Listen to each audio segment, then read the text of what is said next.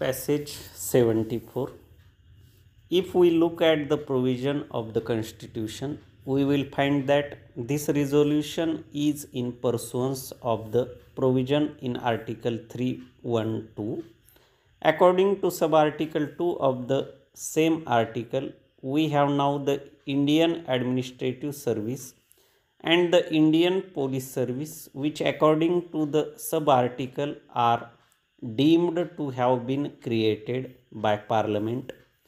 Earlier also we decided to create some other all india services. The reasons for the creation of these services have been given by the honorable minister and i entirely agree to them para.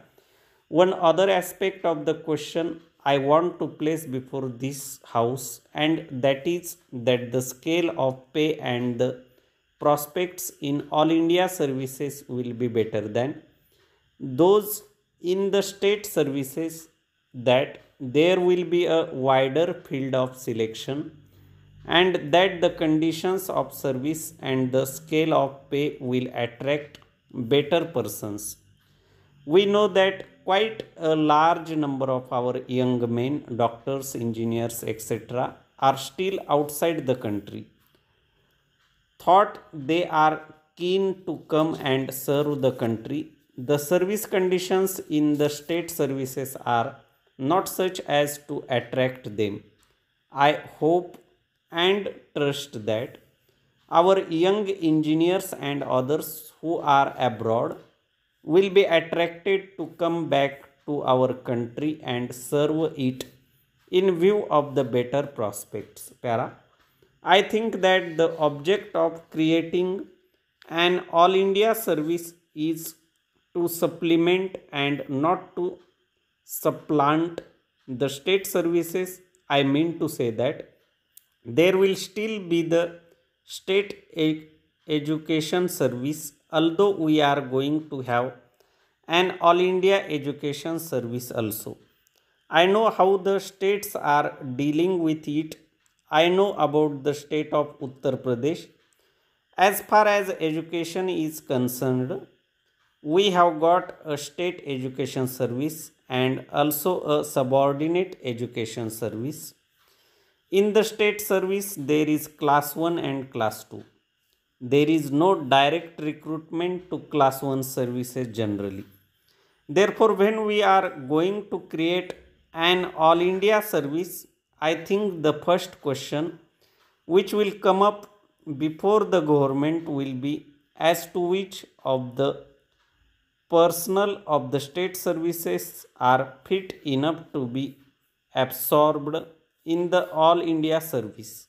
I find that the honorable minister had suggested that there might be a proportion of 33% reserved for promotion para. After this resolution is passed by this house the government will consider the question of legislation for the creation of these services.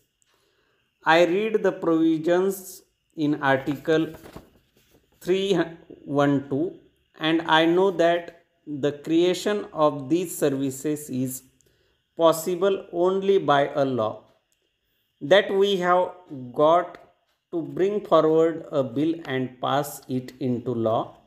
But as far as the conditions of service and all other things are concerned they are also to be regulated by parliament. Therefore my suggestion is that these things should be determined by rules made under the proposed act and the authority to make the rules should be delegated in the government in that respect so that after everything has been gone into a proper decision is made both in regard to the conditions of service and also the proportion for recruitment for direct recruitment and by promotion para i have seen executive officers working in the states drawn both from the ias and the provincial executive service Normally, IAS officers are deputed to the states and during their posting they are under the control of the states. They are posted according to the recruitment of the state. I think the same principle will be followed in regard to these All India services also.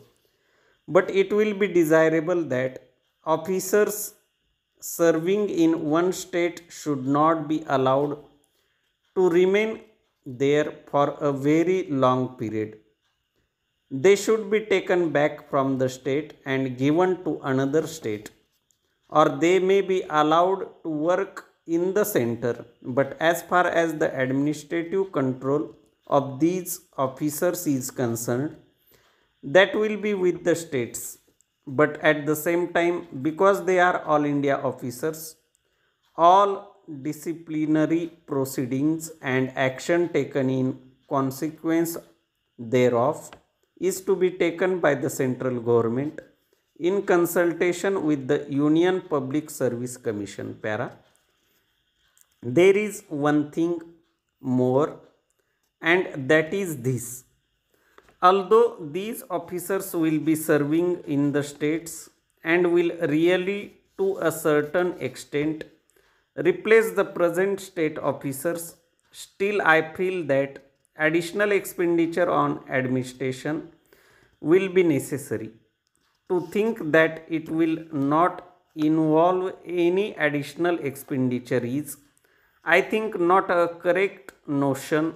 The finances of the states being what they are all the elastic resources are with us at the center.